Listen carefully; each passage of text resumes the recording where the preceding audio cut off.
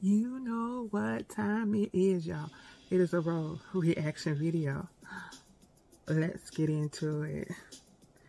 Am I the bow for refusing to pay my husband for using a room in the house for my work from home job? Are y'all ready for this? I can't right now. I can't. Okay. I'm a female, 32 years old. I began working from home two months ago. My husband bought the house we live in before we got together. He calls it his property, which is fine by me. The house is small, only has two rooms, one of which used to be empty till I started using it as an office for my work from home job. Okay when they got married and he put her in there, it became their home, not his property. Yo, he got some issues, okay? All right, so the room was empty and she decided to use the room as her office. Should be no problem, right? Okay. All was going fine with my job till he sat me down last night saying he's expecting 30% profit from whatever I get from my job since he provides the office for my work.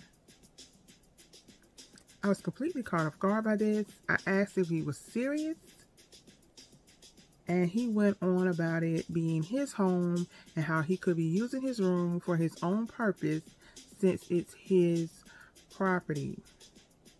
Bro, you got some ego issues, don't you? You wasn't using the room before she started using the room. Now it's a big deal that she's using the room making money. Okay.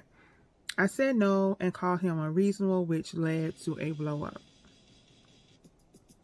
I yelled at him saying he won't get a penny and he pitched a fit and accused me of taking full advantage even though there's no mortgage to be paid.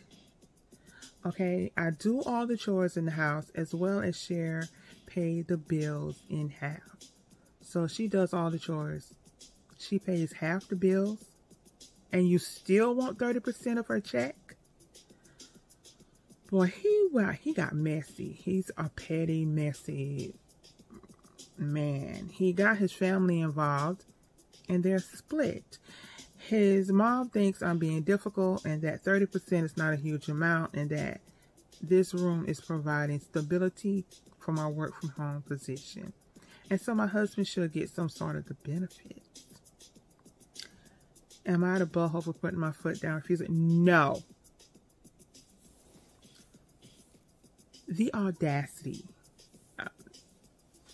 You're his wife. You're paying half the bills. And you're doing all the chores and you work. I, people trip me out when you work from home because I work from home